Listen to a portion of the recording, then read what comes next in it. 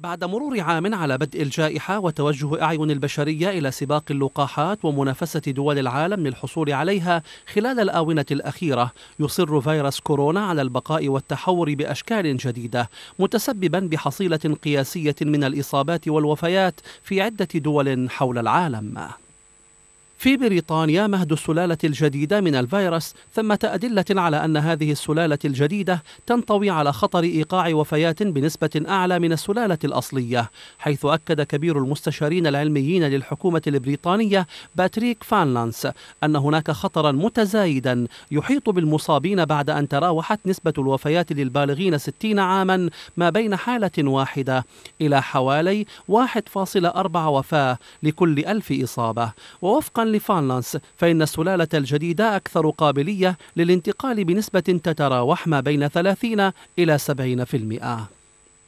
وفي أعقاب ظهور ثلاث سلالات متحورة من الفيروس في بريطانيا وجنوب إفريقيا والبرازيل حض المركز الأوروبي لمكافحة الأمراض والوقاية منها دول القارة العجوز على الاستعداد لتجديد التدابير وتعزيز حملات التلقيح في الأسابيع المقبلة لمواجهة خطر تفشي نسخ أكثر عدوى من الفيروس.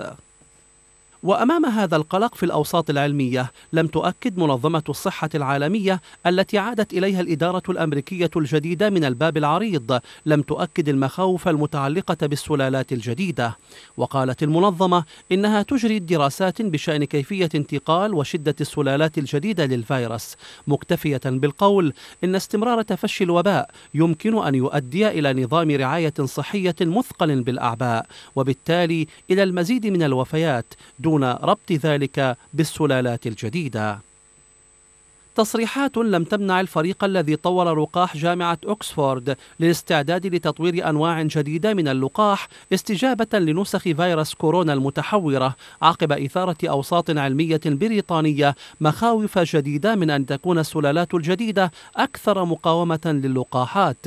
لتضفي هذه السلالات بعدا جديدا للأزمة بعد سباق اللقاحات المحموم ومعضلة توريد شحنات اللقاح ومواعيد تسلمها إضافة لعجز الدول الفقيرة عن الحصول على تلك اللقاحات.